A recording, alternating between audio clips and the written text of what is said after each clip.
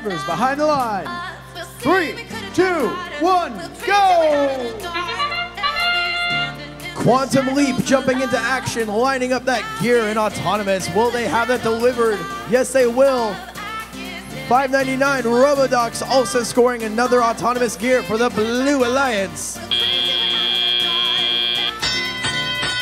Over on the Red Alliance, it seems like 4619, the Hawkbots were the only ones to take flight. Moving across the field, they've got their gear delivered, but they're off to a slower start than their blue counterparts.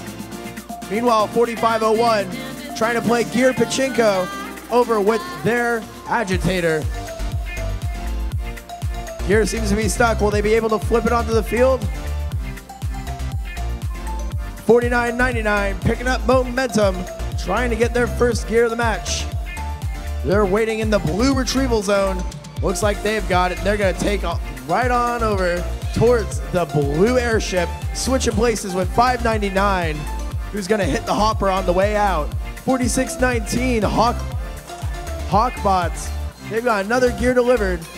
4501 still struggling with theirs, but they've almost got it out. So close, guys. There you go.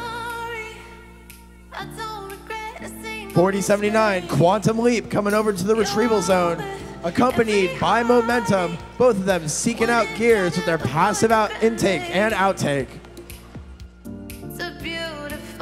4501 finding a niche, delivering the gears dropped off by the pegs. Interesting strategy, using them as more of a placer than a retriever. 4619 missing a couple numbers on their bumpers. That's okay. They're to deliver third, fourth gear of the match. Not entirely sure. They've been flying all across this field. Oh, it looks like they have unplugged their battery on the peg. That how that's an unfortunate maneuver. 4619 is out of it. 30 seconds left on the clock, 599.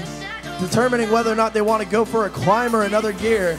Looks like they're going to wait patiently on that climb with 4079. 4079's rope doesn't fall the entire way down. Looks like it's a little bit caught. Kind of hard to climb like that. 4501, 6072, both going up for the Red Alliance. Eight seconds left. 599, Robodox is up. 4079, will they make it? They got three seconds. And that's time.